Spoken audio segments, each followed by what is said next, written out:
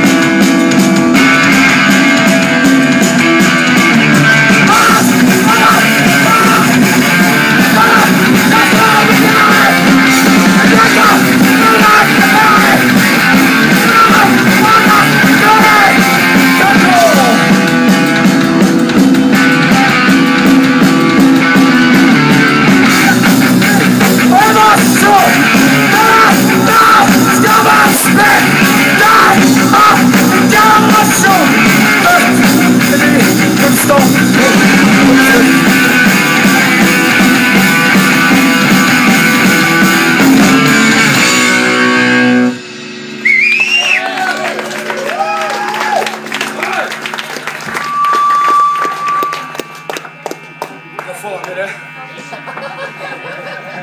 Faen så tapt. OK. Ja. Dette er jævlig sant. En kan. Det er helt umulig å være anarkist dersom du spiser kjøtt.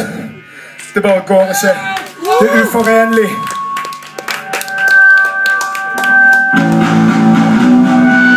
Dette er tommel.